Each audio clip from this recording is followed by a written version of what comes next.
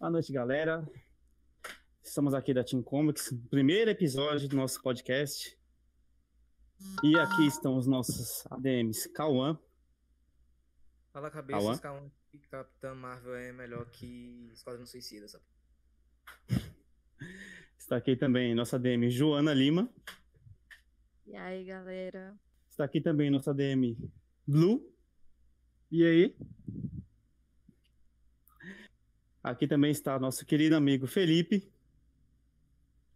Boa noite. Caralho! Felipe é um lord, como vocês podem perceber. Yeah, E também uh, um grande amigo meu, Matheus, e seguidor da página. E aí, pessoal, boa noite. E Ah. nosso querido amigo Richard, que também é seguidor da página. Boa noite, boa tarde, bom dia. Depende de quando você vai escutar. Depende do universo paralelo.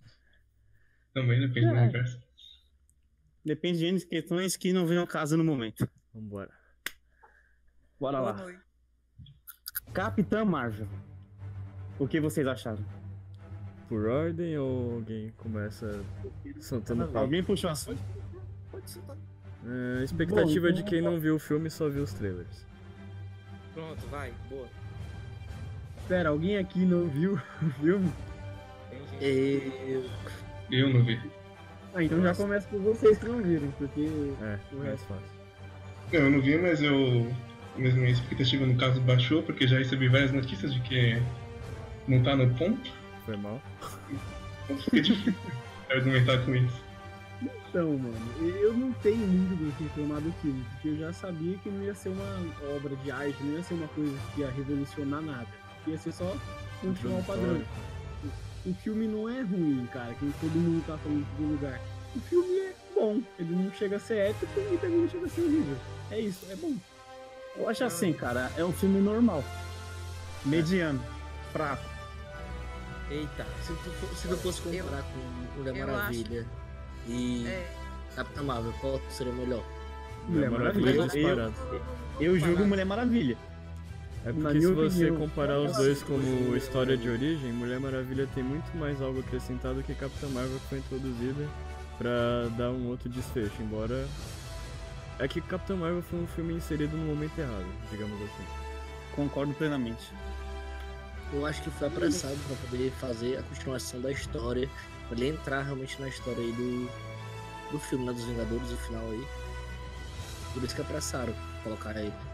É meio, digamos que foi preguiçoso e medroso por parte da Marvel, porque demoraram 10 anos pra, 10 anos pra fazer um filme de uma super-heroína e era o que o pessoal mais pedia. Aí teve que sair Mulher Maravilha pra eles tomarem uma atitude e usar um personagem absolutamente forte pra derrotar o Thanos. Então, é basicamente isso. Pelo menos eles não configuraram pelo iPhone, né? Botaram rumo de slow motion, porque Mulher Maravilha só tinha slow motion. Ah, mas aí você tá criticando Mulher o filme em si ou tá criticando detalhes em específico? E se você for assistir Capitão Marvel, você vai reparar muito mais nisso e vai acabar dormindo. Eu acho que um filme eu acho, heróis eu acho que que por ser o primeiro filme Marvel heroína, a hype foi muito grande, principalmente das mulheres. Viram que Mulher Maravilha foi foda, queriam uma da Marvel. Aí a gente vê que Capitão é foda, mas não, não. Você assistindo o filme, o seu coração não acelerou. Eu vou falar por mim, porque assisti o filme inteiro e meu coração acelerou da forma que acelerou eu vendo a Mulher Maravilha. Você diz que, tipo, por exemplo, não te empolgou tanto quanto foi a sua experiência em Mulher Maravilha. Exatamente, Entendo. mulher. Eu queria igual. Igual, é. Então, é. Acho que por isso que decepcionou. Mas também tem que ver se tu curtir a história dela, né? Antes. É tipo, eu ia assistir Lanterna Verde e assistindo Batman. Eu preferi sempre a história do Batman, porque o Batman já tem uma história. O Lanterna Verde não. Eu acho que isso é muito relativo. Quando você não conhece uma história, você vai julgar mais, observar mais. Quando você já admira um personagem, aquele personagem sempre vai estar melhor, na minha opinião. Depende, se você também não conhece um personagem como a maioria não conhecia o Aquaman, e o filme foi bom, a pessoa vai acabar emergindo na história e é capaz de gostar do personagem. Se Lanterna Verde Tá, tivesse eu- um eu filme coloco, bom. Eu coloco o Aquaman no mesmo nível de Capitão Marvel, sabe? Eu acho que o Aquaman, ele também é um filme que não ousa bastante, ele não ousa tanto. ele tenta usar no visual, mas mesmo assim, tipo, ele não tem nada de uma história grandiosa e nada. Entende? Ah, mano, nisso aí do Aquaman eu quero muito discordar, porque Eu eu, achei o filme discordo. maravilhoso. Eu sou fã do Aquaman há muito tempo, mano. Tipo, eu tenho um monte de HQ do Aquaman aqui, eu sempre achei ele incrível. E o negócio ali do Lanterna Verde, eu também quero discordar, porque eu acho o universo maravilhoso. O filme foi horrível mesmo, mas o universo do Lanterna é maravilhoso. É. Eu acho Não, mas o, o que ele quis dizer do Lanterna Verde é que ele não conhece. Ah, então, eu- Então eu- ele não se sente. Ah, como é que eu posso dizer assim? É um filme do eu Batman, ele vai com puta hype pra assistir o Batman. Filme do Lanterna Verde ele não É iria do mesmo jeito, entendeu? Isso Ah, mesmo. Ei, Tá lá, foi isso que você Sim, viu. isso é relativo. voltei. Ma- Macho, é tipo assim, cara, te explicar o negócio. Fala, Felipe, tu prefere assistir o Aquaman do cinema ou o Aquaman dos Super, dos super Amigos? Super Na amigos. Super Amigos. Ele era muito mais troll. Esse novo aí, cara, ele é bombadão, fortão, tá? As meninas gostam, mas eu sou raiz, eu prefiro a zoeira. Aí, você lembra? Eu acho que você não deve lembrar, mas tem um episódio dos Super Amigos que a Mulher Maravilha e o Aquaman estão presos numa corda. Aí o Aquaman fala, eu vou ajudar. Ele usa os poderes dele pra tipo, chamar uns peixes pra roer a corda. Só que ele não consegue. Aí a Mulher Maravilha ele com aquela cara de sério que você não conseguiu. Você já louco. viram, você eu já acho esse comparativo meio estranho, porque você tá comprando um filme com uma animação, então você poderia pegar qualquer outro exemplo de animação e comparar o que você mais gosta. Pois Eu beleza, acho vou que chamar ele- aqui o Aladdin 2 Você falando de Aquaman. Vocês já viram a, a paródia de, de Porta dos Fundos sobre Aquaman? Que até. Portiago faz papel de Aquaman? Não, não. Não cheguei a ver. Solta o spoiler pra nós. É do Porta dos Fundos, agora o nome eu esqueci. Ajudou Mas é, é, só, é só jogar lá Aquaman, Fábio Porchat, que você acha no, no, no YouTube. Não tem erro. Não Mano, é que eu não vejo muito Porta dos Fundos. Eu acho meio sem graça, sei lá. Mas é porta dos fundos pré ou pós Whindersson Nunes? Tem aí um. Não, moço. eu não está no Porta na verdade, tem uns, dois anos esse, tem uns dois anos esse vídeo já. Eles relançaram agora por causa de Aquaman. Uma pergunta. O Whindersson Nunes está no Porta dos Fundos? eu não vejo YouTube, não. Não, mas vamos colocar de volta Para- na capa parabéns. Marvel. né? Ele saiu do foco da conversa. É verdade. isso. É. É, porque também começou falando uma coisa e terminou em outra, né? Não, é porque não fecharam o assunto, estavam fazendo um comparativo e aí começaram a zoar. Alguém aqui conhece o Marvel ou só conheceu ele no filme?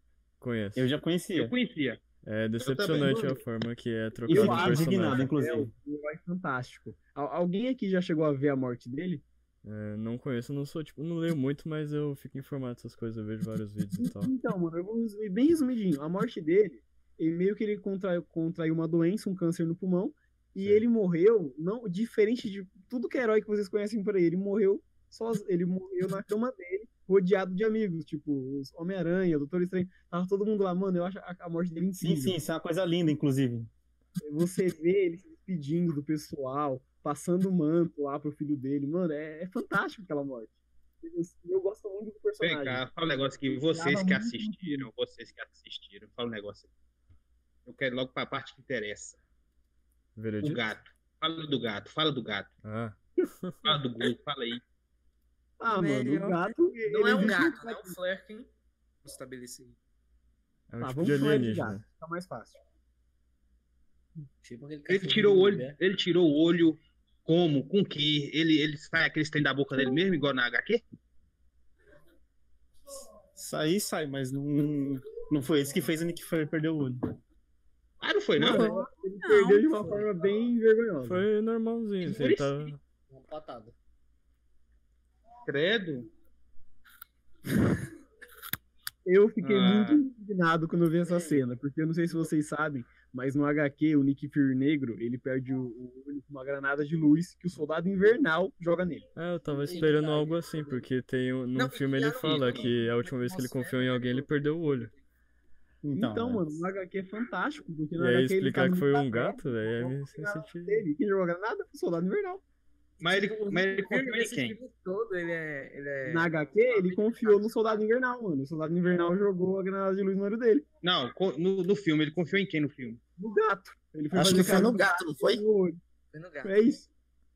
Ele É, Aí ele o tava lá brincando com o gato e o gato deu uma arranhada nele. Básico, normal. Arranhou só? É isso. E aí, como era um tipo de gato alienígena, deu um É, Acho que é a mais. naquela hora lá que o, o gato abre a boca que aparece no trailer, ele deve ter arrancado o olho dele nessa hora. Sai uns Não, ele só, tipo, ele só arranha mesmo. Nossa, Teve, Teve, foi lindo. Foi muito bonito, foi lindo, velho. Quando eu vi aquilo, é, eu esperava mais. Mais ou Aí menos. que o vi, Astério eu tá. a homenagem do Desculpa, Stan eu tô- Lee com a homenagem do Paul Walker. Mano, eu acho que a do Paul Walker é bem mais trabalhada, porque, tipo, ele aparece o filme inteiro. O Stan Lee também é bem trabalhado, só que ele aparece uma vez ou outra. É, E a do Stan Lee também nem é o último filme, né? Ainda tem mais aparições dele. O Stan Lee vai aparecer pra sempre, mano. Deve ter só mais duas, né? O Vingadores do. Ultimato e o Homem-Aranha. Não, ele vai aparecer para sempre. Em todo que é lugar ele vai aparecer, mano. Você tem que aceitar isso. É, ainda mais que essa tecnologia que a Marvel tá aí. Se você bobear, quando você E bobear cozinha, vai ter Vão, homenagem. vão reconstruir ele em CGI nos ossinhos também, moço. Pode ficar despreocupado. E aí Tipo- dizem que ele é o ter deus da fama, Marvel né? lá, que Tipo aparece Smith, em tudo. né? O Não, eu acho que não é ele não, mano. Ah, mas eles poderiam adaptar, deixar o Stan Lee assim. Teoria criada por mim. Vão Hum. botar o rosto dele no tribunal vivo quando aparecer, viu? Aguarde. Isso eu tinha pensado. É, porque o. Tribunal Vivo nem na HQ aparece o rosto dele, sempre fica tampado. Vão botar a cara dele. Nem que seja pelo menos no cara grisalho com óculos. Tal, talvez lá em Vingadores, na hora que tiver reconstruído todo mundo aparecendo novamente, ele apareça. Eu, eu tenho uma pergunta pra vocês. Vocês sabem por que, que o Stan Lee aparece nos filmes assim? É porque ele queria ser ator, ele no não conseguiu. imagem. Mano, eu acho isso fantástico, velho. pegar Ele, ele realiza o sonho, ele realizou o sonho dele, velho. Ele queria ser ator? Sim, Exatamente, ele queria ser não ator e não conseguiu. Aí, quando foram fazer filme dos personagens dele, o personagem que ele ajudou a criar, e deixaram ele partici- fazer participações. Então, sempre que ele aparecia em algum filme, ele tava realizando o sonho dele de ser ator. Inclusive, pensava no que era alguma coisa narrativa. Uma referência Pô, velho, um eu tô ele velho, bicho. Eu tô velho. é Eu assistia o julgamento do- na sessão da tarde. Porra, que aparece Demolidor. Demolidor é o advogado de Hulk. Matt Murdock. Hulk é aquele. É, Lou Ferrino. Não, mas agora vamos voltar de novo na Capitã Marvel, que a gente tá se desviando de novo do assunto. Na É, verdade, nem eu todo mundo, né? a referência que tem a, a justamente um filme que o Stan Lee ele atua. Ele apareceu. Ele apareceu no julgamento do Hulk, eu, eu tenho certeza. Não apareceu sim, sendo Stan Lee, apareceu lá no meio da galera lá.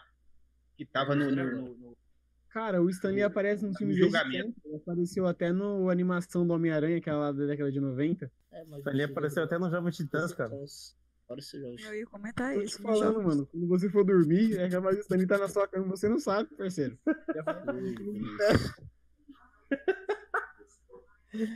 Aí você perguntou onde você tá, ele, o Stan ali, entendeu? Nossa, Pensei que ia usar alguma piada da série Todo Mundo Deu Chris. Quando vocês estiverem vendo um filme dos Vingadores, eu vou estar lá. Eu pensei nesse meme Achou que eu tava brincando? Tá bem? Voltando a Capitã Marvel, eu tava conversando com o Matheus antes da sessão. Eu acho que a Marvel esbarrou num problema que era inevitável. Deixou o filme dela pra ser o último e é- ela é uma personagem no cinema ela faz overpower e isso prejudicou o filme. Não tinha ninguém à altura dela. Por isso que eu achei que ficou tão fraco. Não teve uma cena de decente, uma cena de luta decente no filme. Basicamente, o que ele tá dizendo é que a própria cena de que ela poderia lutar com alguém em combate corpo a corpo é no nível punho de ferro, de coreografia. Cara, eu acho que a coreografia do Demolidor é mais legal. Então, mas a coreografia no fim da Capitã Marvel tá tipo nível punho de ferro. Horrível. Isso que o cara é mestre das artes marciais. Parece que é só um enquadramento de câmera que parece que, ah, deu um soco ali e o maluco se joga pra trás. Tipo isso. E, tipo, muita piada desnecessária, cara. Eu não esqueço a cena no final, que era pra ser a cena de luta, e ela fez uma piada, cara. Qual é a piada? É a do- Aliás, não foi ela que fez uma piada, né? Tipo, Acho que ele falou Eu que a cena é uma piada, por exemplo. Mas é essa cena que o. É a cena do trailer que ela tá destruindo as naves. Aí, tipo, tá um momento foda e do nada é... dá um desfecho merda. Só É, percebe exatamente. que o Ronan é mais um bosta. Fugiu com o rabo entre as pernas. Eu, eu- enfim, eu. Eu não sei se eu, eu gostei tanto de, de, de Capitã Marvel, não. Mas. e por que, que você deu nota 7,5 então? Posso saber? Não, que, cara, que você deu sete nota mil é uma 7,5? nota boa. Fica aí atrás. É porque assim, cara, é- é- eu acho que, tipo, tem tentativas de se fazer um bom filme. Tem tentativas, tem coisas novas. A Marvel experimentou, tipo, colocar flashbacks e flashbacks no meio da história, transformando ela em história não linear. Ele tenta fazer isso. É, tipo, então, então, eles tentaram, sabe? Acho que o 7 mil foi, foi mais nesse caminho. Do, eles tentaram fazer algo novo. Agora, eu achei que, enfim, nesse, tentativa de fazer algo novo, ainda é um filme Marvel, sabe? Você tem uma história início, meio e fim, você tem piadinhas no meio. Outra coisa que também me deixou bem pra baixo porque esse filme foi o. É, a mas se sua nota foi que- 7,5, o filme teria que ser bom, no caso. Ah, Não, mas é isso, ele é bom, mas ele nem passa disso e nem é pior que isso. Então ele é um filme mediano, é de e meio é uma 6,5 nota pra boa. 7. É. 7,5 é uma nota considerável. É, exatamente. Se você Não, fosse usar isso na tua crítica, a Marvel usou muito mais o filme por causa que ela já construiu uma identidade. Aí o filme também tá fazendo dinheiro por causa disso. Se fosse o primeiro filme da Marvel, por exemplo, no lugar de Homem de Ferro, não teria feito nem esse dinheiro que fez nos Estados Unidos, que acho que é uns 300 milhões de bilheteria por enquanto. Quase. A Marvel é lá. muito inteligente. Ela, ela é espetacular de, de divulgação. Ela consegue fazer um filme mediano, um filme até abaixo da média. Aí, às vezes faturar consegue muito fazer algo mal da- da- adaptado da- e fazer que ela já sucesso fez. também. Eu pensei a mesma coisa, cara, sinceramente. Até hoje eu não me conformo com o pessoal gosta de Thor Ragnarok, me desculpe. Cara, eu gosto de É, Thor. é bom? eu gosto. Eu não entendo como é que o Homem de Ferro 3 conseguiu faturar aquele tanto dinheiro sendo um lixo. Homem É de esse Ferro não, River. por causa do hype. Justamente. Aí é que tá. Ela sabia que o filme ia ser ruim e upou a- o marketing. Enganou meio mundo de besta. Eu também. Sai lá puto. Então, mano, desculpa eu sair do tema da Capitã Marvel, mas por que, que você não gostou do filme do Thor, velho? Ah, simples, porque o Thor, ele, em cada filme dele, ele foi abordado de uma forma diferente. E aí, no terceiro filme, que era o assunto principal, que é o Ragnarok, foi tratado praticamente o filme inteiro como comédia. Deixou o Hulk idiota. Aí Graças o que salva é o Thor quebrando tudo no final e se redimindo. Mas, porém, o filme em si. Ela nunca usa, enfim, a, a HQ, a história da HQ ou eventos, enfim, como aquele fato. Ela usa o título, mas ela conta, tipo, a caralha aquilo, né? Eu sei, mas, Mas como a o- minha expectativa pra aquela adaptação foi bem abaixo. Mas foi um bom Sim, filme até. aí- Aí, há o perigo, esse é o perigo que a Marvel sempre corre, né?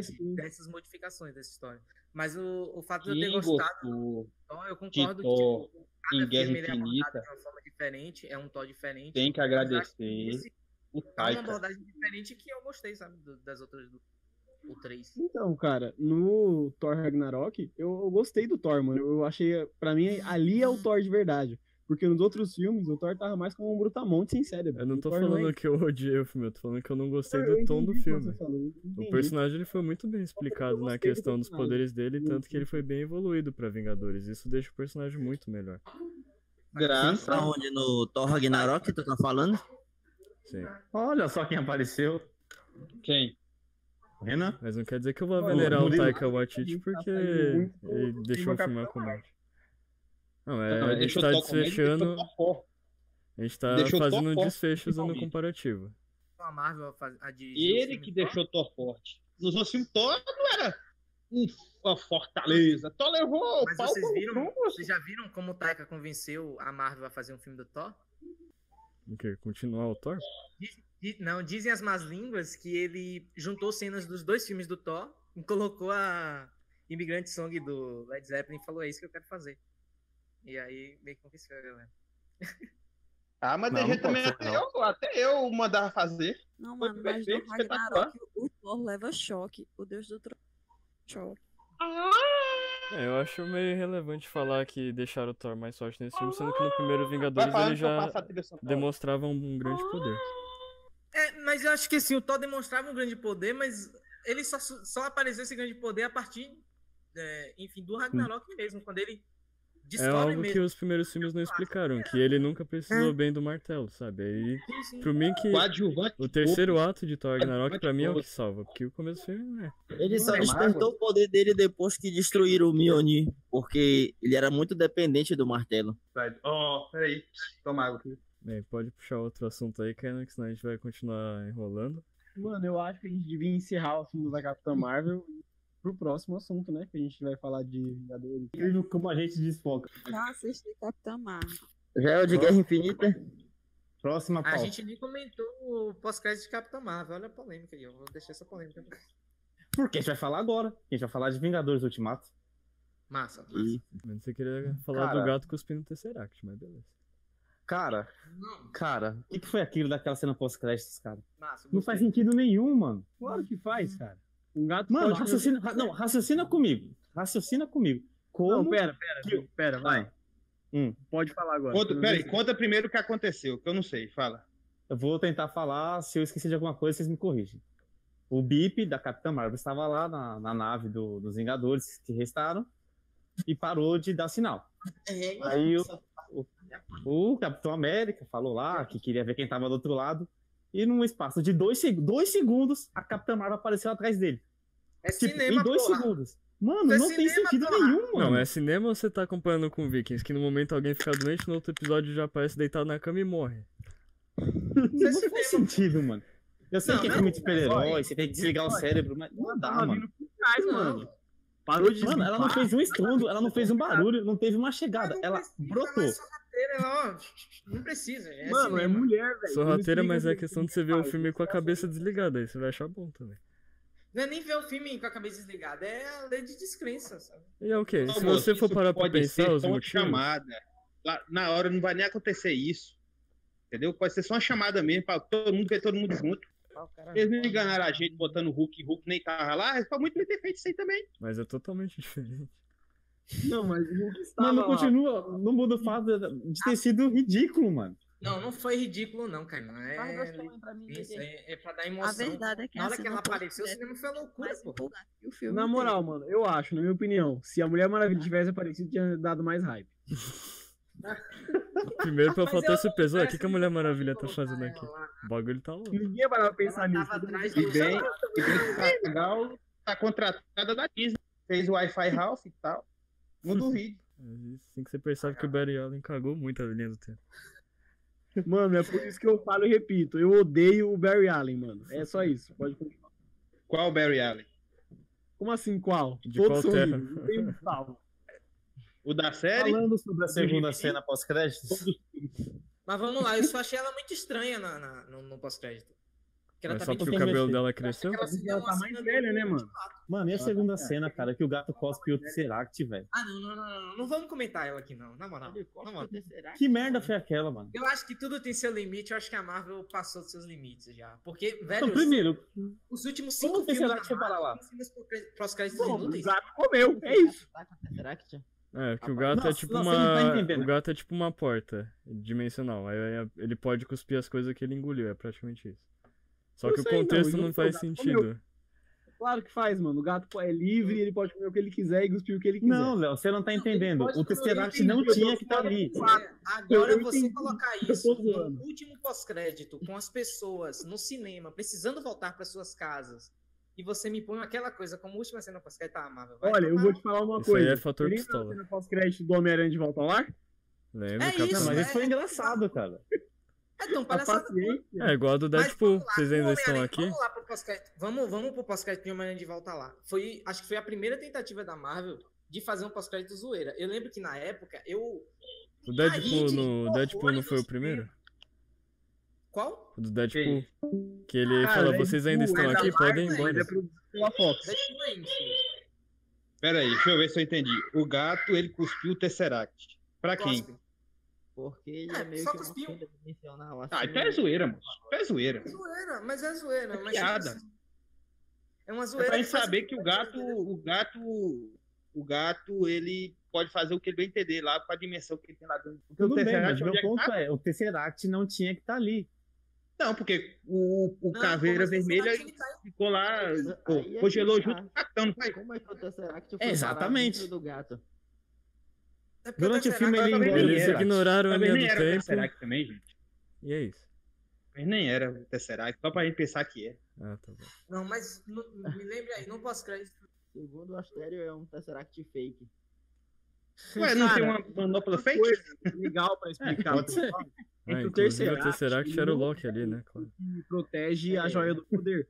O Tesseract, ele é, um, ele é o cubo cósmico. O cubo cósmico, ele não é a joia do poder. A joia do poder estava dentro de um cubo cósmico. cubo cósmico, ele tem vários cubos. Mas vocês acham que ele. que a Marvel explicou que tem vários cubos. é, o cubo cósmico no universo Marvel? Só explicaram que tem um. Mano, podem explicar isso depois, mano. No Ah, claro, depois de explicado. 10 anos, né? E aí teve o primeiro Capitão América em 2011. E depois o filme da Capitã Marvel que o gato simplesmente cospe o Tesseract e não faz sentido pra muita gente que não manja de HQ. É isso que a gente quer chegar aqui. Então, mano, eu quero chegar nisso. É que eles podem ter feito isso. Então você tá me dizendo que o. Então, mano, eu acho galáxia paralela ideia dele que foi mostrar que foi cuspir o Tesseract para as pessoas pensarem, mas poxa, o negócio não tá com o Capitão América, aí o pessoal fica achando que tá errado e depois, tipo, isso é explicado mais tarde. Aí o pessoal fala, tipo, nossa, então era isso. É, espero que a Marvel faça isso. Afinal já tá meio furado demais o universo, mas enfim. Mano, É. mais furado que X-Men, Ah, isso é impossível, eu concordo. um burro. Tem uma dimensão dentro dele. Ah, o Dom. Patrol? Ah. Como essa história aí, a história.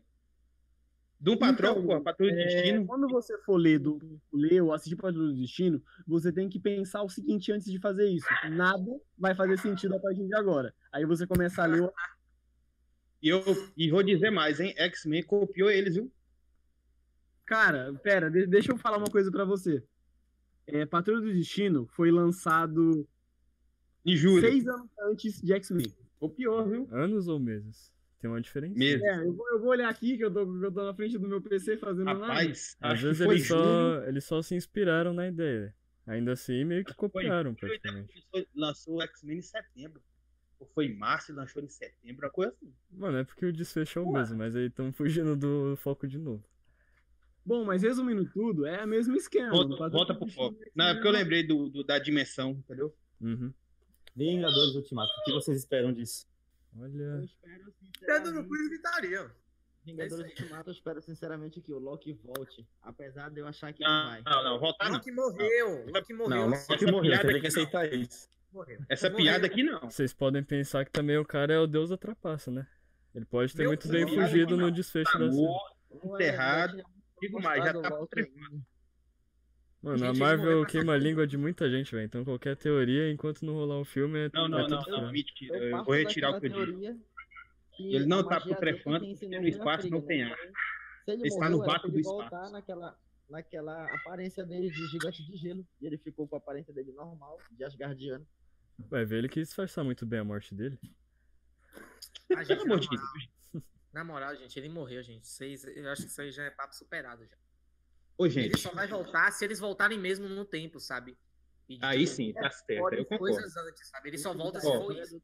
Pra alterar Vamos recap recapitular. De qualquer forma, ele vai estar no filme. Loki morreu de três maneiras. Três maneiras. Morreu em. Quebrou o pescoço. Morreu na explosão. E se não morreu na explosão, ele tá fazendo o que no vácuo do espaço? Cara, ele é um deus, ele não precisa de ar pra respirar. Não, precisa não. Pelo deus, menos na HQ ele não precisa. É, Ele, a única coisa que ele pode fazer é segurar o ar. Pelo menos na HQ ele não precisa. O Thor sobreviveu, por que, que o Loki não poderia? Sendo que ele tem tá o sangue tão acordado. legítimo quanto. Pois é. Uma nave mercenária pode ter Ah, pego o Loki é Loki fraquinho, perde Tá bom, não, ele é um deus. É cérebro, né? Mas vamos lá, gente. A minha dúvida no. no, no... Deixa, deixa eu, antes de você falar sua dúvida, deixa eu falar um pouquinho também, mano. Todo mundo falou eu não. Moço, quando quebra o pescoço, já era, moço. Não, não é muitas horas. Tem uma HQ maravilhosa que chama Renascer dos Deuses. Ela acontece depois do Ragnarok. Nessa HQ é mostrado que não tem como você matar os deuses. Mesmo se eles morrerem, eles vão reencarnar em outros seres, em outras pessoas, e voltar à vida. Foi assim Sim. que os Asgardianos continuaram vivendo depois do Mas assim, a questão é, é X-Men, é, É isso, é Quarteto fantástico. Fantástico. Então, cara, a Marvel falou que vai ser introduzido X-Men Quarteto Fantástico. Mas vai ser aquele esquema, eles vão continuar no universinho deles. Tipo, É, gente, tipo mas- Homem-Aranha, saca? Faz parte do mesmo universo, mas não vai toda Sim, hora sim, estar sim. ficando. Mas Entendi, é isso. Já, já, a Disney já bateu o contrato de comprou a Fox, porque até hoje tá ainda nesse. Mas tu acha que vai ter condições de introduzir o pessoal do X-Men todo nesse. Dá, dá. Na fase 4 dá. Claro que dá, Não, mano. nesse filme não. Não, no Ultimato não. Dá até pra chegar e falar assim, um qualquer vai falar, ah, tem os mutantes, acabou. Falar que existe já. Ah, gente, eu acho que. Eu acho que no Ultimato não vai ter nenhum tipo de menção a mutantes nem nada desse tipo.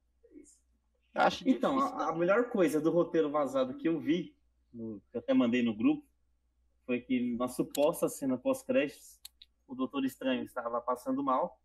Tipo, naquela pegada lá que ele ficou vendo. a- Foi explicado nas HQs. Isso foi explicado após a ressurreição ou antes da ressurreição? Após, mano. Tipo, do nada os deuses estavam. Ah, então, do nada, apareceu nos Estados Unidos. Sem explicação de nada. Aí o Thor foi Tudo lá. bem, ver, mas isso não quer dizer que a Marvel vai fazer isso no cinema. Não, pode não. É, É isso. A Marvel Então, pode não fazer, acho mas se fizer agora vai acontecer o renascer dos deuses no cinema, porque todos os Ar- Asgardianos morreram, igual na HQ, mano. E o pessoal vai achar, será que todos os Asgardianos morreram? Morreram. Mas eu acho que eles vão voltar. Eu não acho que vai tipo, ter um filme. Não. que- Já vai Ai, ver. Onde o Thor vai tirar o poder dele? É o Galactus que está na fase 4. Eu só É, quero mas- isso, eu não preciso de mais nada é pra que ser tá. feliz. Eu, eu- sobre esse pós-crédito aí desse, desse roteiro vazado, eu acho que é informação too much pra um pós-crédito da Marvel. Eu acho que a Marvel não vai fazer nada grandioso. Tudo bem, mas eles têm que dar um gancho pro que vai acontecer Não, no. Eles vão dar um gancho. Eles vão dar um gancho. Mas não vai ser nada grandioso. Até que tem, né? Pensa lá no, no, no, no- no Vingadores do primeiro. O gancho que eles Hum. deram foram só Thanos olhando e sorrindo. Foi isso. Esse é o pós-crédito do Vingadores. Então acho que se Cara, o Chimichanga. um pós-crédito no Ultimato, que deve ter, claramente, o filme da Marvel tem, é, vai ser algo que vai linkar com o futuro da fase 4, mas não vai ser nada grandioso. Assim. Surfista prateado. Cara, eu acho que dá pra postar que vai ter invasão secreta aí. Ah, eu Acho que queria vão também. o, o surfista nessa, nessa onda aí. Porque Nossa. agora Ah, apresentados os Ah. crios. Eu não sei se vocês assistem a Agents of Shield, mas a questão de, do- dos Chris está muito bem, é, muito bem assimilada já na série. E o penúltimo e último episódio da série foi perfeitamente sincronizado com Guerra Infinita. E a próxima temporada da, apareça, né? Então. E a próxima temporada vai se passar um ano depois dos acontecimentos de Guerra Infinita. De Ultimato, desculpa. Então, cara, uma pergunta. Como que é a história dos Kree e dos Skrulls na, dentro da SHIELD? A história Bom, de quem? eu vou te, eu vou te resumir. É, os Krees, na Agents of S.H.I.E.L.D., eles são ultra motherfucker vilões que se passam por heróis, eles traficam in- inumanos. E, aliás, era uma questão que eu achei que ficou deficiente no universo da Marvel, tanto em questão de série quanto em questão de cinema. Eles poderiam falar mais sobre inumanos, que você vai saber falar melhor do que eu. Dizem que é uma HQ fantástica, eu nunca li. Cara, assim, eu acho fantástico o negócio dos dos Skrulls na HQ. Que é basicamente os Skrulls eram mocinhos e ficavam aí ajudando o Cosmo. E um dia eles foram ajudar os Kree. Os Kree mataram os Skrulls, roubaram a tecnologia e eles meio que vivem na sua própria sociedade lá, isolada. Tem histórias muito boas disso. Se o pessoal quiser ler e quer escuta a gente, eu super recomendo ler mano. A série é Podia linkar bosta. isso com o Thanos, né? Sim, mano, demais. Porque o Thanos, ele meio que existe por causa da Terra também. Porque, ó, eu vou tentar resumir o máximo da história que eu consigo. Os Celestiais, quando eles vieram pra Terra, eles pegaram alguns símios e evoluíram esses símios. E deram duas espécies, os, de- os Deviantes e os Eternos. Os Eternos são basicamente deuses. E os Deviantes também são deuses, só que eles são mais brutos, mais animalescos, e um nunca parece com o outro. Aí os, devi- os Eternos, eles voltaram pra Terra, viram que os Deviantes estavam fazendo muita burrada, destruindo tudo e mataram os Deviantes. Alguns deles, pelo menos. O- e os Eternos continuaram aqui. Os Celestiais foram embora. Aí os Eternos, chegou uma hora que eles se dividiram em dois grupos, e um desses grupos acabou indo pra Titã, que é uma das luas de Saturno, se eu não me engano. E lá foi onde Thanos nasceu. Ele nasceu em Titã. Aí aconteceu aquilo que vocês viram no filme, né? Que o pessoal lá de Titã morreu, só o Thanos ficou vivo. E depois ele quis sair pra ir matando todo mundo. Eu acho bem da hora falar também que o Thanos, ele é um, um eterno, mas ele é um eterno que nasceu com a síndrome do deviante, que faz ele nascer deformado, muito poderoso e muito inteligente. Os eternos já são basicamente deuses. Bom, é isso. Interessante, cara. É, Então, é. Já nasceu level 100. Pera, pera, eu eu só esqueci de falar de uma coisa. Quando os grupos se separaram, o grupo que ficou em Titã, ele ainda envelhece e morre. São basicamente deuses, mas envelhecem e morrem. Agora, o grupo que ficou na Terra, dos Eternos, eles acabaram sofrendo uma alteração genética por causa de um titã em específico. E eles acabaram se tornando imortais e muito mais poderosos. Então, qualquer titã que, vive, que viva na Terra é mais poderoso que o Thanos. Mas o Thanos ainda é muito forte. É só isso. Agora, terminei o assunto. Bacana. Tim, Comics também é cultura, parça. Principalmente, mano, eu leio- HQ. Minha vida é ler HQ. Então é isso, né? Olha, Nem o o Léo percebeu. tem que estar aqui em todo o podcast. Quem, quem saiu Sim, primeiro, sim. os Eternos ou os Novos Deuses? Eu sempre quis saber.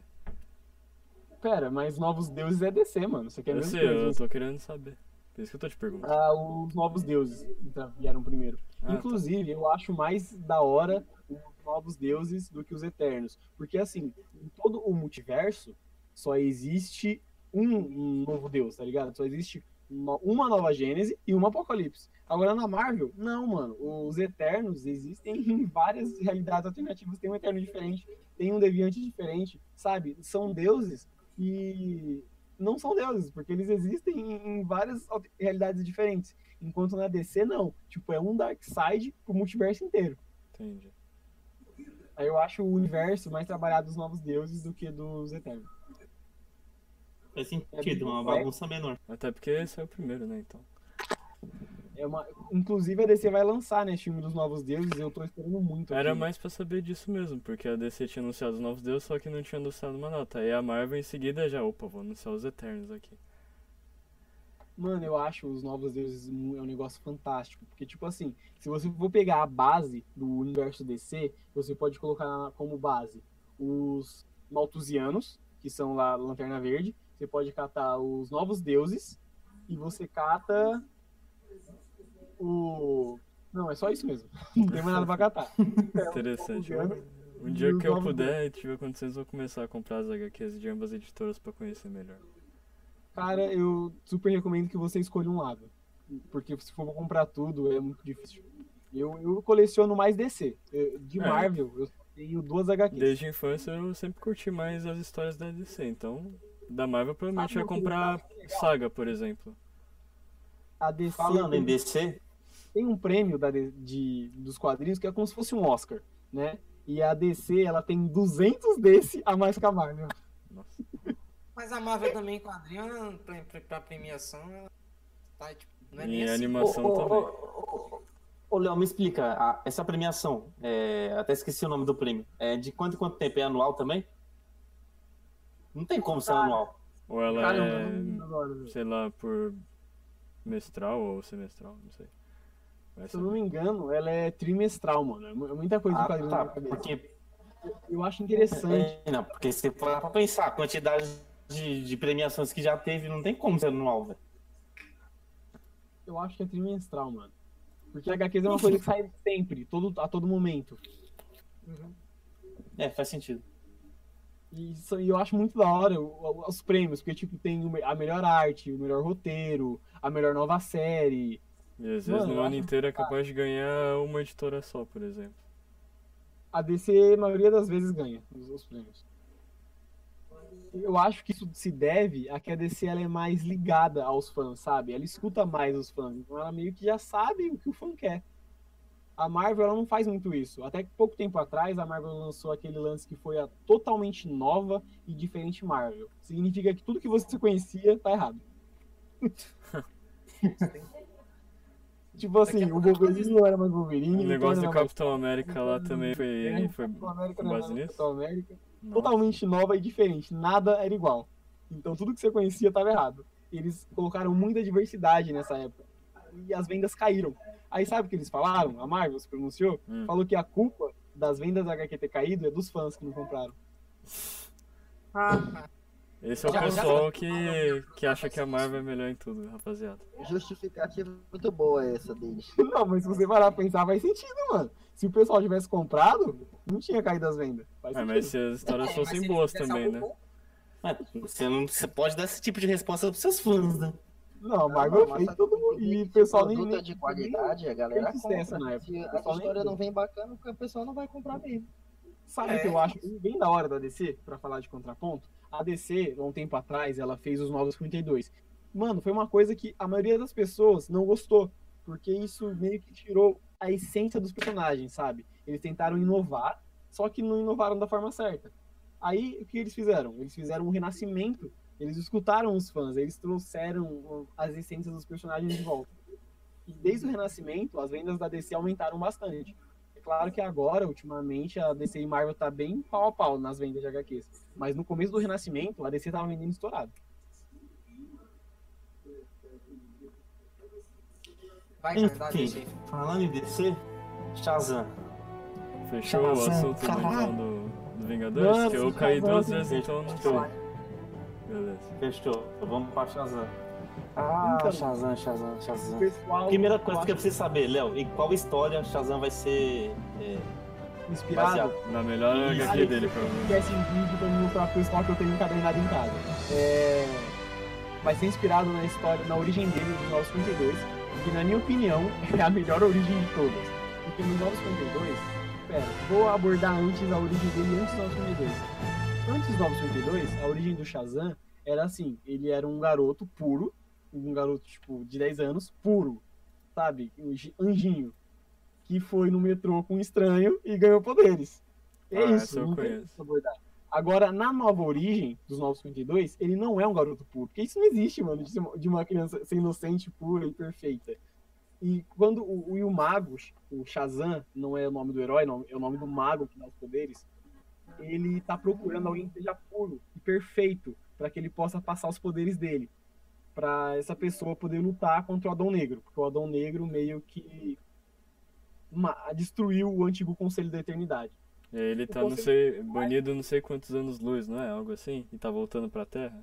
Tanto que tem numa animação isso, Vamos não me contar isso desde o começo, né, mano? Senão fica muito bagunçado. Ah, sim. Antes de entender Kazan, a gente tem que entender a Pedra da Eternidade. A Pedra da Eternidade é tipo um dos lugares da onde a magia flui. E foi feito um conselho sobre isso. E nesse conselho existiam vários magos. E cada mago tinha o seu campeão. Aí eles decidiram dar o poder para um mortal. No caso, o Adão Negro. Um, pro Adão Negro e pro sobrinho dele.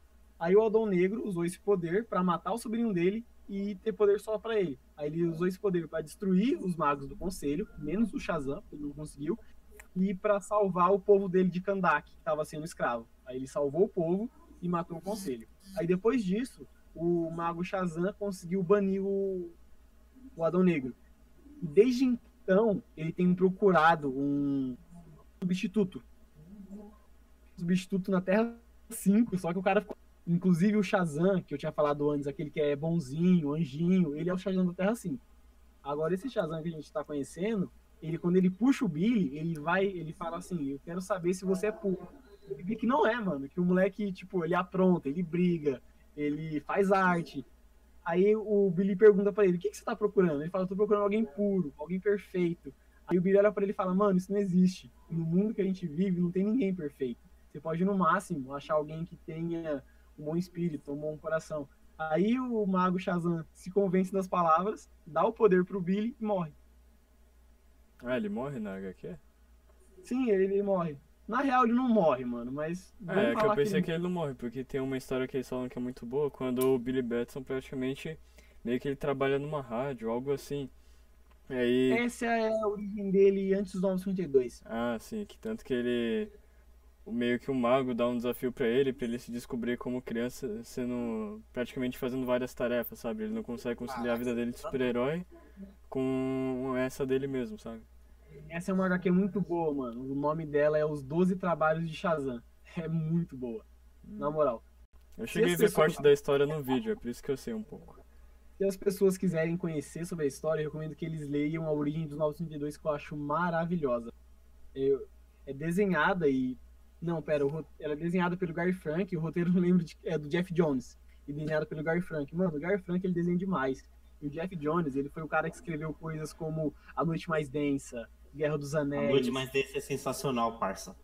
Todo mundo fala Jeff isso, Jones de escreveu. Noite Mais Densa, mano. Você, você quer achar que ele não escreveu bem Shazam? E Tá, no tá, filme, foco, foco, essa foco. história que vai ser abordada. Eu achei até da hora. Tá, isso eu não achei da hora, eu menti. Que no filme não vai ter o Adão Negro. E na HQ o Adão Negro é, é muito básico. Eles basicamente vão colocar o Adão Negro pelo Dr. Silvana. Eles falaram que vão fazer um filme solo pro Adão Negro depois e depois. Que é algo como filme. que o Dr. Silvana liberta o Adão Negro, algo assim? Sim, exato. Na HQ é isso que acontece, ele liberta o Adão Negro, mas no filme o Adão Negro não vai aparecer, então, basicamente, o Silvana pega os poderes pra ele. Coisa que já aconteceu muito nos quadrinhos, mano. Vira e mexe, o Silvana pega os poderes pra ele. Na real, se você tá no universo DC e você nunca teve os poderes do Shazam, você nem é gente, mano. Todo mundo já cata os poderes do Shazam. O Constantine, a Mulher Maravilha, o Batman, o Superman. Até o Hércules já teve os poderes do Shazam, mano. O Hércules não, o He-Man. Caramba. Sim, o He-Man já teve os poderes do Shazam, mano. Era aquele negócio que eu falei. Se você faz parte do universo DC e nunca teve os poderes do Shazam, você não é gente. Por isso que eu prefiro Ô, Léo, escuta Batman isso aqui, por favor. É, um, um roteiro que o moleque me mandou, uma notícia na realidade, de acordo com uma revista X, que não vou ler agora, é, o escritor Adam, não sei falar também, entregou um rascunho do roteiro, inspirado na fase em que o Jeff Jones trabalhou com o vilão do Shazam vivido por Jones. A Warner Bros. busca um ator de 30 a 40 anos para ver o Carter Hall. Deve ter um físico robusto, de modo que possa convencer numa briga com o The o roteiro também traz o Esmaga Átomo e a Sideral, clássicos membros da Sociedade da Justiça. Ah, eu vi essa O notícia. estúdio pro... é, então, o estúdio procura atores entre 20 e 30 anos, blá blá blá blá, Whisky Sachê, e é isso. Eu disse que eu queria comentar com Oxe. alguém. Eles vão. É meio que fazer o filme do Adão Negro que eu não manjo muito, mas eu conheço brevemente o personagem. Que ele é meio que. É no. É no Egito a história do Adão Negro, praticamente, não é? Então, mano, eu acho bem interessante isso. Porque eu acho que vocês sabem, né, que o Shazam não foi criado pela DC. Sim, sim. Sim, É da Fawcett Sim. Comics. é Fawcett, não é? na Fawcett, eu não lembro se era Fawcett Comics, mano, porque é Fawcett City, é o nome da cidade que o Shazam ele atua, é na Fawcett City. Mas eu não lembro se, o- se esse era o nome da HQ, da, que É da editora, no caso. Mas então, o Adão Negro, na editora, ele já existia, né? E não sei o quê. Aí quando compraram ele pra, pra DC, eles não conseguiram colocar o Adão Negro, eles não sabiam onde encaixar. Então eles colocaram o Adão Negro como no passado, entendeu? Eu achei isso fantástico. Tipo, foi uma solução resolveram muito fácil. Mas no filme, eu acho que vão, vão contar a origem dele mesmo, no Egito, conhecendo o Mago Shazam, o Conselho da Eternidade. Aí depois ele sendo banido, aí no filme do Shazam 2, ele vai enfrentar o Shazam. Tem que dar um plot porque eles querem alguém que faça o Gavião Negro. E nisso não vai inserir a história dos Tanaganianos, que eles vão querer fazer um filme solo, provavelmente da Mulher Gavião. E ela tem toda uma história com o Vendel Savage lá que eu acho muito louco, velho. Puta, vai ser Eu um puta gancho, velho. vai ser sensacional. do dos gaviões negros, porque tem os, taga, os Tanagarianos e tem os humanos também. Sim. O, o Qatar Hal é Tanagariano, a Shayera é humana, mano. Ó, basicamente tem do- dois gaviões negros e duas moças gavião. Dois reencarnam e os outros dois são policiais de Tanagar. É, é- um, gosto difícil de explicar, mano, porque tipo assim, no Ah, começo são os que reencarnam.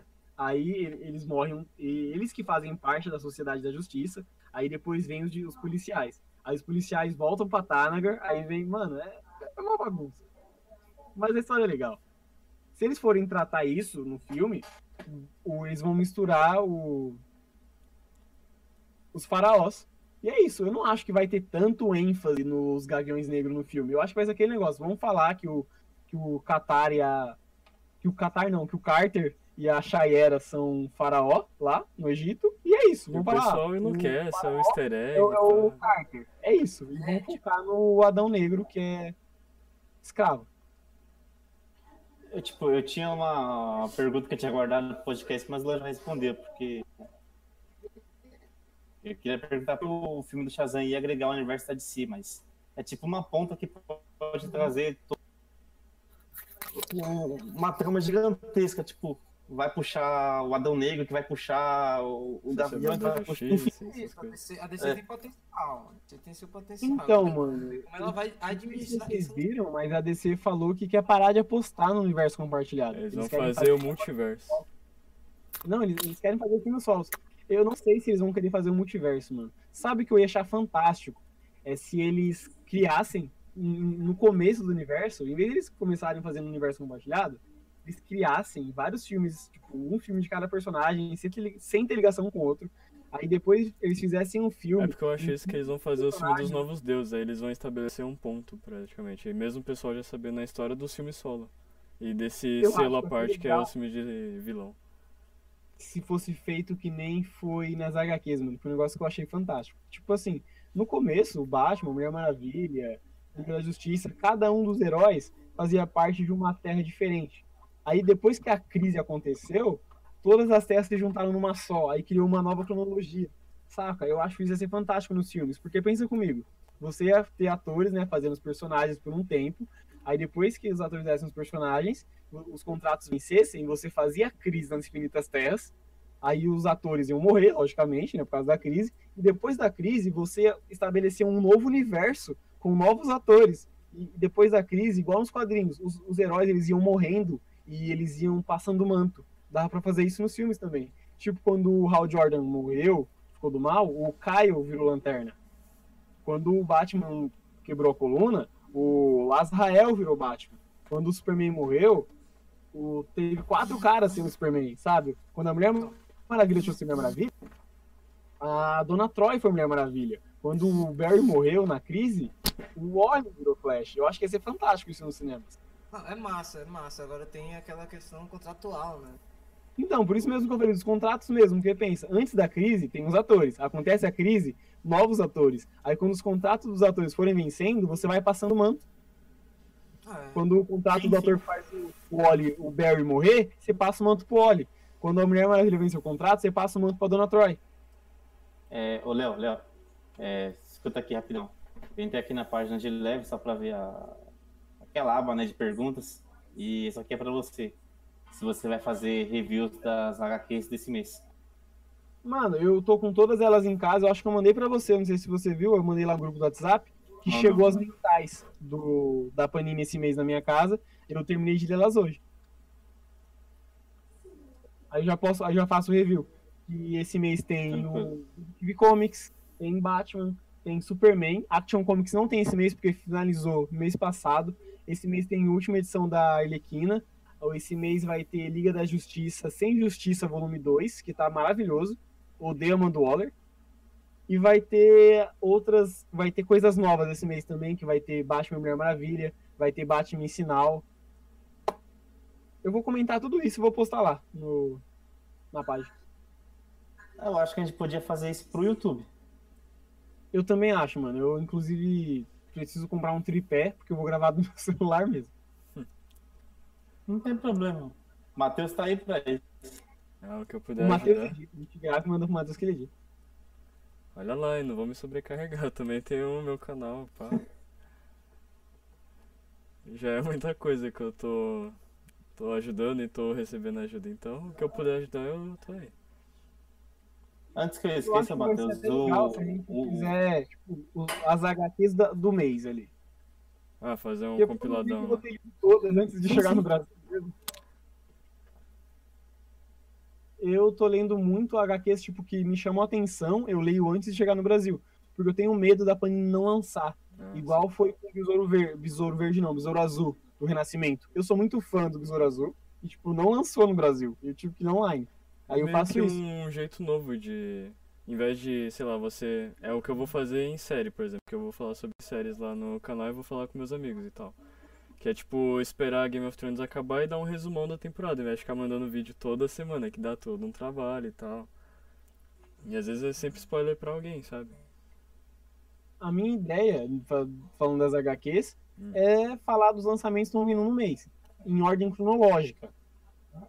Porque não adianta, tipo, eu tô falando aqui, ó, saiu o Batman tal. Aí no outro vídeo eu vou falar do Batman que saiu há três anos atrás, ou que vai sair ainda.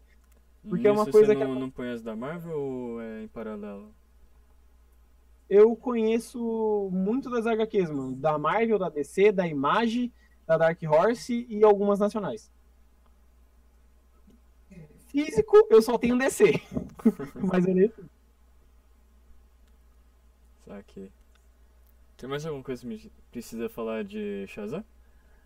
Mano, eu acho que é da hora as pessoas conhecerem os poderes do Shazam, mano. Acho muito da hora. Porque às vezes a pessoa fala, ah, ele tem um pacote de super-herói, né? Que o pacote de super-herói é voar, ser super forte. É que nem todo mundo também é como a gente, né, velho? Mas é, aconselho a se pesquisar no YouTube aí, tem um monte de vídeo explicando e tal. Os poderes dele. Eu, é eu diferente do rapaz, eu indico vocês a lerem HQs.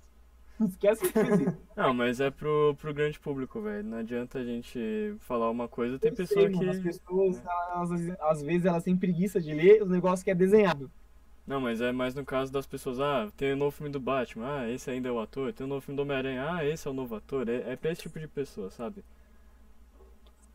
Então, mano, os poderes do Shazam é um negócio que eu acho fantástico.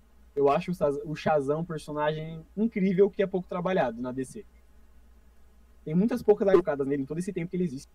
Mas então, os poderes do Shazam são o poder de Zeus, a força de Hércules, o vigor de Atlas, a coragem de Aquiles, a sabedoria sabedoria de de Salomão. Salomão. E isso são coisas fantásticas, mano. Porque ele tem a sabedoria de Salomão, ele tem a coragem de. Pera, ele tem a coragem de Aquiles. E isso são coisas banais. Eu quero focar em- num negócio fantástico, que é o poder de Zeus, mano. O poder de Zeus, não tem noção quem é Zeus. Zeus bate de frente pro Darkseid, velho.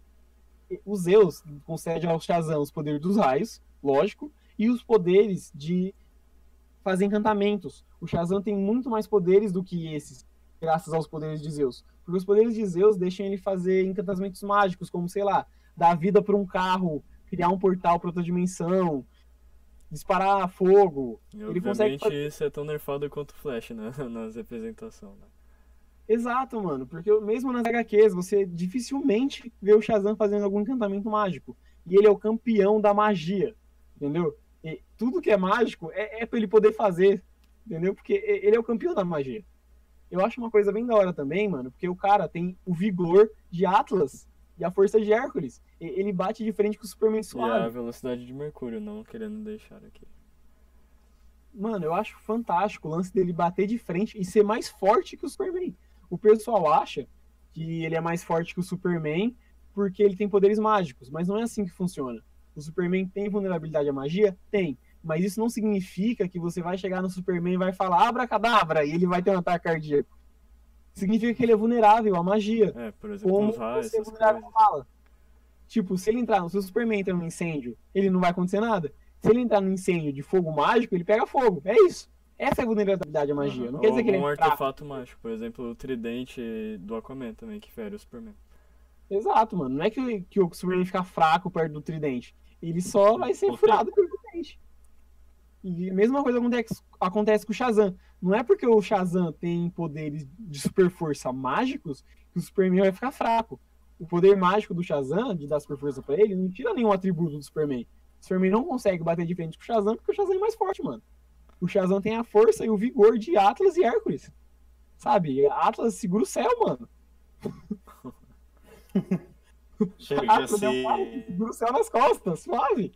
Eu acho super, eu acho super aceitável um cara que tem o- a força e o vigor de, de Atlas e de Hércules bater no Superman. Agora, consequentemente, o alter ego dele, o Adão Negro, ele é tão poderoso quanto ou como é que é isso?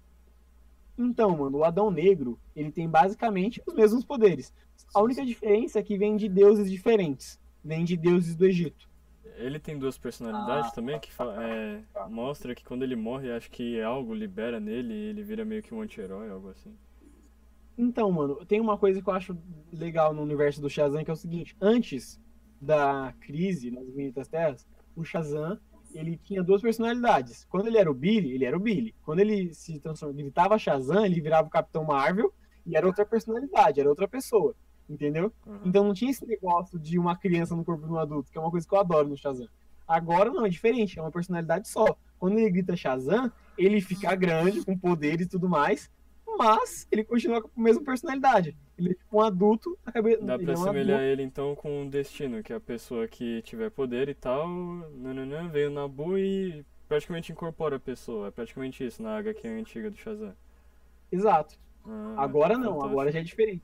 O- Ele ganha os poderes, mas continua com a mesma cabeça. E o mesmo vale para Adão Negro. ele ganha os poderes e continua com a mesma cabeça. Por isso que ele ficou do mal, né? A gente tem que participar de um podcast junto que a gente fala da, da nova tendência DC com o Young Justice. Eu acho muito bom, velho. O Justiça eles- Jovem? O que Jovem é maravilhoso. Na realidade, mano, tudo que é animação da DC é maravilhoso. Se você for reassistir Liga da Justiça, Ah, sim, desenho, sim. Você vai pegar várias referências que você não- nunca imaginou que fosse colocar. Uma coisa assim que eu fiquei maravilhado quando eu vi. Eu sou muito fã do Etrigan. Não sei se vocês conhecem, Conheço, é um conheço. demônio. Eu fala, conheço mano, bastante DC. eu, eu tenho aqui na, na minha casa as primeiras HQs do Etrigan, que é o primeiro arco dele, que foi escrito e desenhado pelo. Caramba, esqueci agora o nome. Caraca, mano, como que eu vou esquecer o nome do cara, velho? Muito conhecido, sei lá, Frank Miller. Não, ele não é desconhecido, ele é muito conhecido, mano. Não, foi Ele muito é o conhecido. Kamandi. Ele foi o cara que fez o Kamandi, que fez os Novos Deuses. Caraca, como eu vou esquecer o nome dele, velho? É Jack Kirby, lembrei. Ah, tá, tá. Ah, tá. Jack Só Kirby, isso, só. ele- Só isso. Só, só, só isso. Só criou Novos Deuses, criou Kamandi, criou Etrigan, met- só coisa pouca. Darkseid, cara, bobagem. Mas então, mano, voltando lá no negócio da Liga da Justiça. Eu tava lendo a HQ do, do Etrigan, aí eu fui assistir o desenho com meus irmãos, né, que tem irmãos pequenos. E, e eu juro pra você, tem um vilão do Etrigan, que ele é um ator. Esse vilão é super descartável, ele é tipo o fantasma da ópera. Ele aparece, sabe aquele vilão que aparece uma vez e nunca mais aparece em lugar nenhum? Sei. Hum. aparece e morre. Esse vilão, ele aparece na- no desenho, mano. No episódio que o Etrigan aparece. Louco. E, tipo, eu fiquei, mano, sabe? É uma coisa que você não espera que aconteça. Você só percebe se você for reassistir, né? Ou no primeiro episódio do desenho, que o Superman dá o relógio lá pro Batman. Sabe o relógio que ele aperta e chama o Superman? Ah, Ele dá pro Batman esse relógio no primeiro episódio. Mas, tipo, aquele desenho é cheio de. de. de easter egg. Inclusive easter eggs, né? Mais 18, né? Como sempre na Team Comics posta. E às vezes a gente até esquece do episódio, depois ele lembra e fala, Então, caralho, o Cheyenne é safado. A Todo Maravilha. do Cauã porque ele não presta. Ai, Eu? Eu, né? agora, agora ninguém sabe de nada, agora todo mundo é inocente. sabe uma coisa? Eu esqueci o que eu ia falar, podem falar aí. Eu ia puxar, mas eu esqueci. Ah, se for falar aqui de DC, eu falo até umas horas aí do que eu conheço, pá. Eu- eu Acho que sobre a- Shazam não tem mais o que falar, né, cara? É, expectativa Não, lá em cima. Vai ser inspirado na HQ do 952, que eu acho fantástica. E é isso, mano. O pessoal sabe agora os poderes do Shazam, da onde ele vem. Ah, criando a polêmica, eu acho que Shazam vai ser melhor que Capitão. Você acha? Eu tenho certeza, mano. Eu tenho certeza. Como muito dito lá no Verdadeiro vídeo, Capitão o Marvel, verdadeiro de Capitão. Marvel que a gente vai ver. Não, esquece isso aí, agora é Shazam. É, essa parada, essa parada do. Não, é, e tipo, eu tinha esquecido total de Shazam. Eu Tava aqui, tipo, foco total aqui em Vingadores Ultimato. Mas o Shazam vem antes. E tipo, eu acho que Uhum. vai ser uma parada bem, bem da hora. Essa questão dele se tornar o Capitão Marvel, mas ainda assim com essa mentalidade de criança. Acho que tem uma parada boa pra se aproveitar. assim. Mano, isso é uma coisa que aparece, que aparece há muito tempo, igual no desenho da Liga da Justiça que eu falei agora. O Shazam aparece no desenho e lá ele é uma criança no corpo de um adulto. Eu acho fantástico, mano, porque ele, quando ele conhece o Superman no desenho, ele gagueja, ele... É o ídolo dele. Mano, é fantástico. Igual no, no final do episódio ainda, ele, ele chama a atenção do Superman, mano. É fantástico. O Shazam é um herói, é um herói incrível, mano. É aquela mesma pegada dos Jovens Titãs, sabe? Aquele, é aquele herói que é pra pessoa, pra pessoal mais jovem. Faz sentido. Porque, tipo, quando eu era criança, eu vi o Shazam, porque eu li HQ desde sempre, mano. Na moral, minha mãe fala que eu nasci com esse gibi na mão. Eu fiquei sabendo que o médico te deu um tapa com uma HQ. HQ que o Batman dá aquele tapa no Robin, tá ligado? Eu, eu nasci, eu não tava chorando porque eu tava lendo HQ. Pera aí, deixa eu terminar de ler isso aqui. Depois eu choro. Mas Ai, então, caralho. quando eu li HQ do Shazam quando eu era criança, eu, eu, eu, o Shazam era meu herói favorito. Porque ele, era- ele tinha o poder de ser adulto, então ele podia fazer o que ele quisesse. Tipo, ele morava sozinho. Porque ele alugava, ele alugava um apartamento e sempre que. Ah, não, mano. E, e sempre que alguém ia lá no apartamento, ele virava adulto e atendia a pessoa. Ou tipo, quando ele ia se entupir de doce, ele virava adulto, ia na doceria, comprava doce e entupia. Tem uma HQ que eu nunca vou esquecer, mano, que ele virou Shazam pra comprar cerveja. Inclusive tá, tá no trailer do negócio. Ah, eu queria falar, deve ser uma clara, uma clara referência. Você sabe qual HQ que é essa? Essa HQ, ela é dos Novos 52 também, é na HQ que eu recomendei pro pessoal ler. É, o nome Dá da fazer post sobre isso. com uma palavra mágica. Eu- eu- o Shazam é isso, mano. Ele é uma criança no corpo de um adulto. Sabe Ah, quando você era criança, você não queria entupir de doce, beber guaraná até de, de mais, e os adultos não deixavam. O Shazam é isso, mano. Ele é uma criança que tem o poder de fazer o que quiser. no Young Justice mostra uma cena que ele tá trabalhando com o Flash e é tipo o primeiro emprego dele, ele tá tipo super feliz, tá ligado? Aí acontece uma treta lá e ele vira o Shazam e fala, ai, agora já não tava mais trabalhar, tipo, é uma parada assim, velho, tem no Young Justice. Você lembra na primeira temporada, na segunda temporada, desculpa, do Justiça Jovem, que É. o Shazam ele fica nervoso, ele fica triste com o pessoal porque eles não, eles não querem que ele vá pra festa junto com eles. Ah, Aí ele vai, vai embora comendo os doces. É muito legal, velho. Inclusive, mano, se vocês quiserem ler as HQs atuais do Shazam que a DC tá lançando, tá muito bom, mano. Na moral. Mas só comprando? Porque eu sou pobre. darksideclub.com, parceiro. Nem no Brasil é chegou online. A internet tá pra isso, né, amigo? Essa HQ do Shazam vai chegar no Brasil mês que vem, pela Panini. Vai ser barato, mano. Vai custar aí 10 reais. Lembrando que Panini, Pra nossa entendeu, parceira, foi I uma love vida. Panini. 10 reais é muito caro pra uma mensal. Ó o jabá. Cadê o jabá? Faz o jabá aí, cara. Merchanzinho, merchanzinho. Mano, a gente vai Panini, mesmo fazer jabá. Eu acabei de reclamar do preço. Não, assim, ó. Na minha opinião, a Panini tá fazendo uma coisa muito errada. Porque antes as mensais eram feitas em papel tipo, de qualidade, mas era aquele material para ser mais barato. E agora eles colocaram o mesmo papel da mensal que você encontra nos encadernados de edição de luxo. Eles estão querendo colocar aquela capa da mensal que era mole, ser igual aquelas capas mais duras, igual tinha na HQ do Batman All Star, no Batman Cavaleiro Branco. Isso acaba aumentando o preço da mensal. Eu acho isso, isso muito errado. Porque a mensal é aquela HQ que é para atualizar a pessoa do universo e para ser aquele material que introduz o fã pro universo. Lembrando, Saca. crítica construtiva. Crítica É uma crítica construtiva. construtiva, mano. É, Porque, na minha opinião, do jeito que tava antes, tava bom. Porque no começo era papel jornal, mano. Eu odiava papel jornal, porque o papel jornal é um cu pra guardar. É muito ruim pra você É guardar um papel jornal. mesmo. A galera limpa a bunda com papel jornal. Aí, aí o pessoal reclamou do papel jornal, a Panini mudou o papel para um papel de mais qualidade. Aí a mensal custava 7 reais. Ano passado. Aí agora, a partir do mês que vem, todas as mensais vão custar 10 reais, 12 reais. Por 52 Aí páginas acontece- do quadrinho. Acontece que o quê? Você não consegue mais limpar o cu. Isso aí. Eu acho que Eu acontece. espero que o Matheus corte essa parte. Eu tô sempre acontece cagando, que Você não consegue mais acompanhar tudo que você queria. Você acaba comprando menos HQ do que você queria comprar. Porque você fica sem dinheiro. É, faz sentido. A HQ do Shazam, certeza que eu vou pegar, mas é isso aí.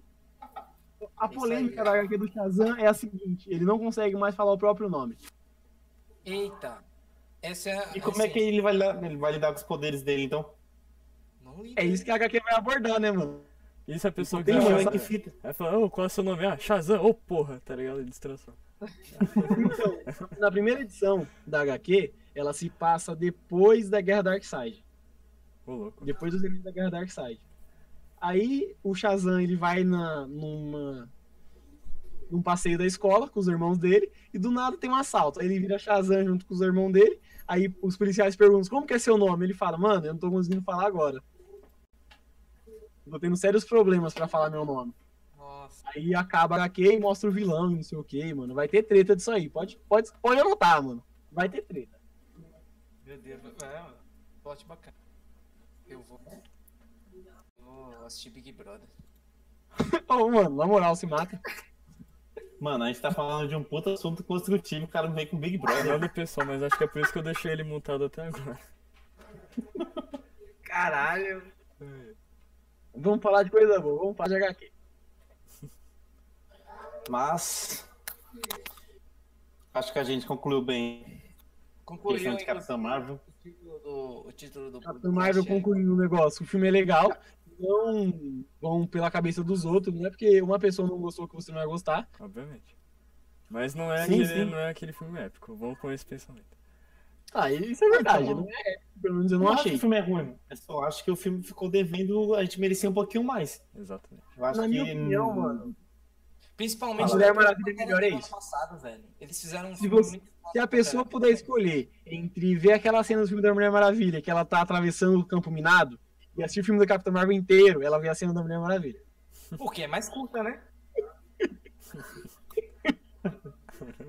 Cara, tocou num ponto interessante, cara. Pantera Negra é filme de origem e é muito bom, cara. É muito bom.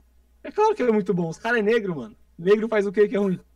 É isso, não, mas a Capitã Marvel é mulher. Deveria ser tão bom quanto. Se ela fosse negra, não é, né? Eles não Mano, essa usaram... questão não é ser negra, a questão não é ser mulher, a questão é a, a coisa ser bem feita, cara.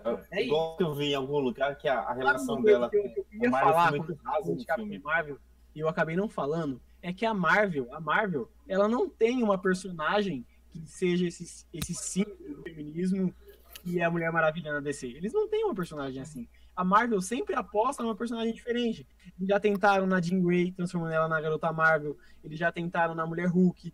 Já Eu tentaram coisa? Carol Danvers, na Mulher Invisível, mas eles nunca acertam uma personagem. A DC acerta na Mulher Maravilha desde a década de 40. e- De Mas, 40. Sabe uma coisa? A, a Marvel não precisa ter essa personagem. Essa personagem símbolo, digamos assim.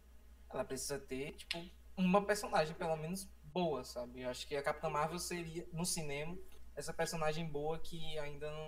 É que hoje em dia com o filme o pessoal acaba gostando mais Eu e vejo, ignora eu vejo a totalmente Capitã. Marvel e a Viúva Negra, eu ainda acho a Viúva Negra, sabe, mais impactante, assim. Mas também É a porque Viúva Negra tá acostumado com ela já. Eu não tenho nem como comparar, mas. Enfim. Mano, eu acho que aquele esquema. A Marvel nunca se ligou muito em ter esse negócio de representar a Uhum. mulher. aqui. Eles sempre tentam, mas nunca acertam a mão. Por isso que eu falei agora, eles sempre mudam de personagem. Na minha opinião, os únicos personagens que eles acertaram ali na diversidade foi nos X-Men, mano. E lá ficou. Inclusive eu gosto bastante da Tempestade. Mano, não sei se você ficou sabendo, mas agora nos X-Men tem até um X-Men que é transexual, velho. Sim, sim, eu É, fiquei deve sabendo variedade lá. Virou uma polêmica e eu fiquei tipo, e daí? É, tipo, qual o problema, tá ligado? Enfim. Capitão Marvel ok. Vingadores Ultimato. Ok, não Vingadores tem muito o que falar. a gente concluiu aquele negócio, né, mano? Que os contratos vão acabar, ou vai ter novos heróis, ou os mantos serão passados. Se o pessoal. Eu creio que é mais fácil eles inserirem novos Vingadores, velho. Acho que vai ser Mano, ano eu passado. acho que ia ser legal se eles fizessem os dois. Passassem o manto É e inserissem novos Vingadores. É isso, acho que vai ser isso. Acho que, acho que é o que vai acontecer nessa, na- na- nas próximas fases. assim. Eles vão introduzir novos personagens. Nossa, eu quero muito ver a evolução do Homem-Aranha daqui pra frente. Ele, Uma tomara que ele pergunta, você crie o próprio. Queria ver mais o, o Miles Morales. Queria ver o Morales no live action, cinema. Mano, o, eu não sei se você sabe, mas o universo Marvel dos cinemas é inspirado no universo Ultimate dos HQs. E no universo Ultimate dos HQs, o Peter morreu e o Miles ficou no lugar dele. Mas como ninguém morre Tá depois. no Universe. É. Sim. É claro que no HQ é um pouquinho diferente, mas é aquilo. Mas se você partir do pressuposto que o, o tio do Miles Morales estava no filme do Homem-Aranha, não é É, nada é, absurdo imaginar que Não ele é, possa nenhuma, vir a não é aparecer. nenhuma ponta solta, tá ligado? Tá lá. Tá lá. Sabe uma coisa que a Marvel bugou minha mente? Hum. Ah. Antes, teve uma saga que chamou Guerras Secretas, mas vamos esquecer ela agora. Antes das Guerras Secretas, o Peter, da Terra 616, que é a Terra regular da Marvel, ele conheceu o, o Miles, da- do universo Ultimate. Aí depois que ele conheceu o Miles, ele voltou pro universo normal, né? 616, e ele entrou no Facebook e escreveu o nome do Miles, né? E achou. O, existia um Miles no universo 616. Aí depois teve a saga da, das Guerras Secretas e o, o universo Ultimate, um pessoal de lá veio morar na Terra 616. E o Miles foi um desses. Aí eu fiquei tipo, mano, mas e o Miles que já tinha aqui, tá ligado? Esqueceram do moleque, mano.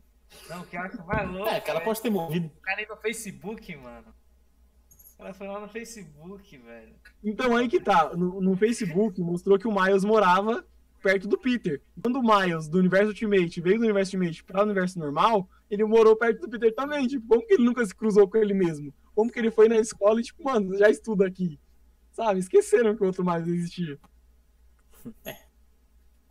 Mas voltando ao filme, que o tio do Miles estava lá, Sim. é, a única, uma referência que eu achei muito interessante. O cara que fez o tio dele é o Donald Glover, se eu não, se eu não me engano o nome do ator. Isso, dono da minha vida. Donald Glover é o, é o. Esse negro maravilhoso, o Miles Morales foi inspirado nele. E eu achei isso muito inteligente, cara. Ter sido E ele feito. foi cotado pra ser o, o, o Homem-Aranha no cinema, o Donald Glover. Ele foi cotado. As pessoas estavam colocando o nome dele como Miles. Cara, assim, eu, eu acredito muito que ou eles vão introduzir o Miles antes do Peter morrer, ou no universo dos cinemas o Peter vai morrer e o Miles vai aparecer no lugar dele.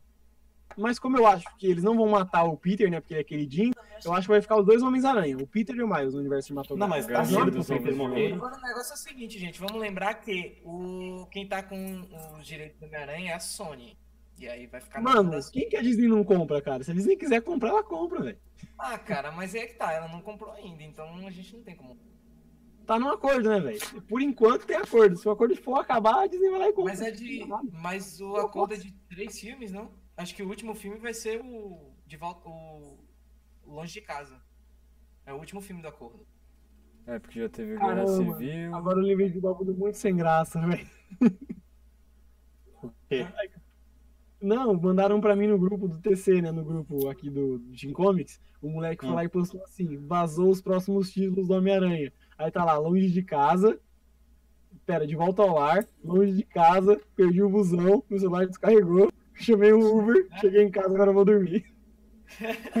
Faz sentido, Que né? bosta.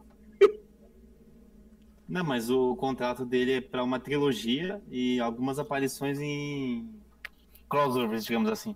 Seria o Guerra Civil, Guerra Infinita, Ultimato, enfim. Perdi o ônibus. Homem-Aranha? Então é um, então é um contrato com mais de um filme.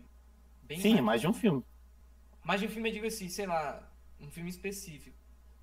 Ah, então. Ah, lá. sim. O cara já tá bem na carreira, já, já incorporou o Homem-Aranha. Na moral, sabe o que eu acho bem da hora de falar pro pessoal? Na Morales. Que o Homem-Aranha não é pobre desde os anos 2000, mano. O pessoal vive falando que o Homem-Aranha é pobre, mas desde os anos 2000 não é pobre mais. O cara dava aula em universidade, velho. Particular. Isso, aí, Isso em é 2006. virado na Agora o cara é dono da própria empresa, das indústrias Parker. Aí eu vejo no Facebook os caras falando que o Homem-Aranha é pobre.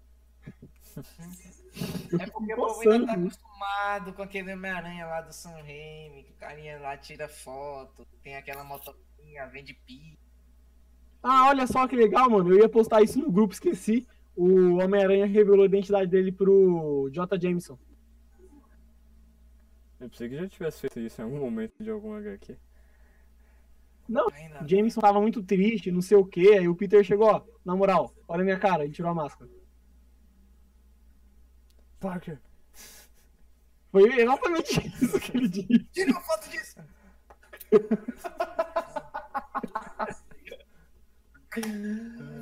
Ai, ai. Bom, sobre Vingadores Ultimato, não, não há mais o que dizer.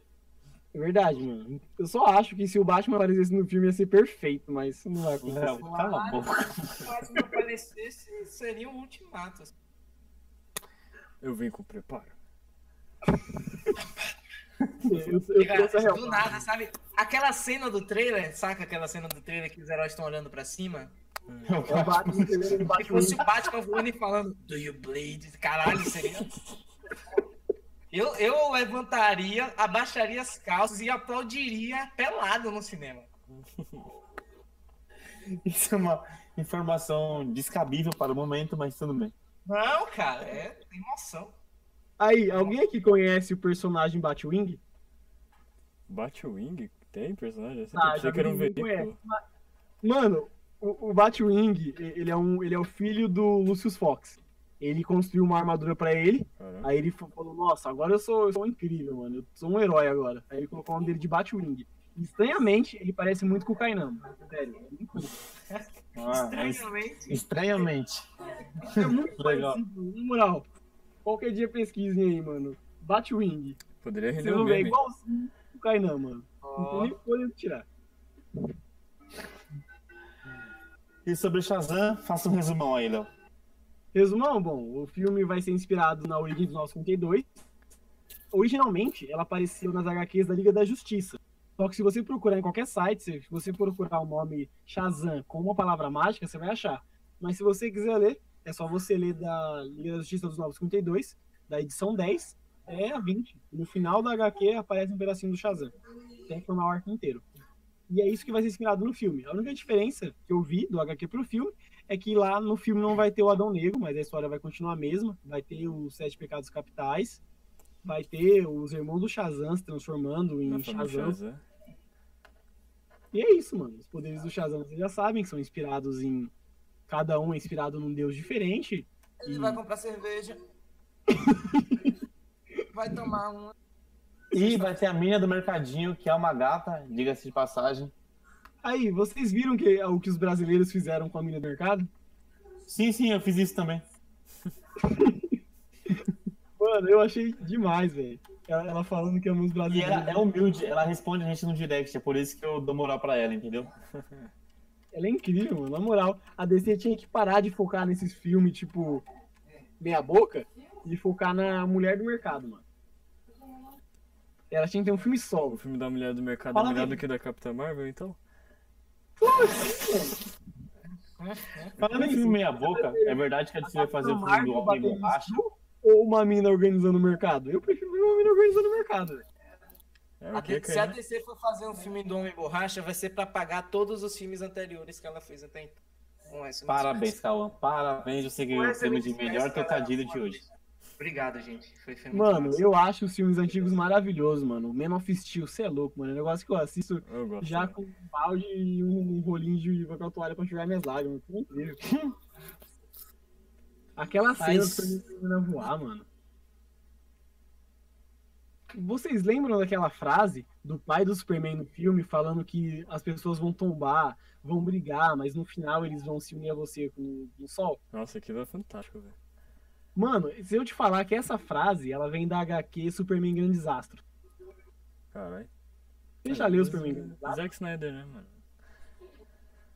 Mano, se você não leu os Superman Grandes Astros, eu recomendo até para as pessoas que estão assistindo, escutando a gente, assistam a animação. Superman Grandes Astros. Cara, se você não chorar no final disso, você não é humano. Bom, Mano, é é isso aí, galera. Queria agradecer aqui, teve a paciência de acompanhar a gente até aqui. Eu queria deixar meu boa noite, agradecimento. Agradeço muito meu querido Matheus, que não tinha obrigação nenhuma de estar aqui ajudando. tá? Não, que isso, velho. Eu gosto bastante Agradeço desse meio. E... Eu, eu fico abismado com o conhecimento que o Léo tem, cara. É impressionante. O Léo é sensacional. Que- Mano, é aquele esquema, né? Eu, eu nasci com uma HQ na mão. Tinha que usar o E o Léo batendo. pra parar com essa guerra de DC e Marvel na internet. O pessoal às vezes não conhece porra nenhuma e fica falando bosta por aí, eu só acho. Mano, se eu pudesse educar as pessoas, eu ia chegar e falar: olha, você quer gostar de Marvel, DC? Tranquilo. Você pode gostar das duas, entendendo que a DC é melhor? Suave. Polêmica, concordo. Não, aí o pessoal vai querer debater comigo. Não, as HQs da Marvel são melhores. Eu pego, mano, tá vendo esses de quadrinho? A DC tem 200 a mais que a Marvel. Só falo isso. Peraí. Não, Tá bom, vamos deixar a polêmica de lado.